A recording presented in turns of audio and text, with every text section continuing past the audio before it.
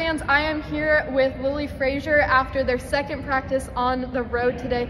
So Lilli, you've had a pretty explosive year. Uh, got your thousandth point in the first round of the tournament. Um, can you just talk to me about how your team has helped you get to this point in the season? I mean, yeah. Um, I mean, I've been able to accomplish um, the things that I have all because of my teammates and coaching staff. I mean, I have the best group of girls that I get to come and practice with and play with every day. So yeah, all credit goes to them, and you know, I just love them to death.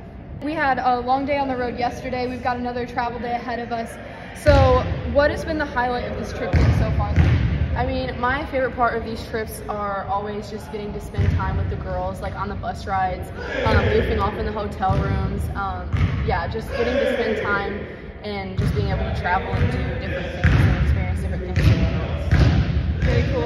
And then we have a couple more days until the game on Tuesday. So, what are you guys doing to prepare for that game? I mean, um, we're having a bunch of shoot arounds and practices, and then, you know, we're preparing how we do for every game. We just um, scout, uh, practice, and then you know we just get in the game mindset and like we go in um, having a game plan and we just try to execute it and we just try to have fun, have juice, and love one another.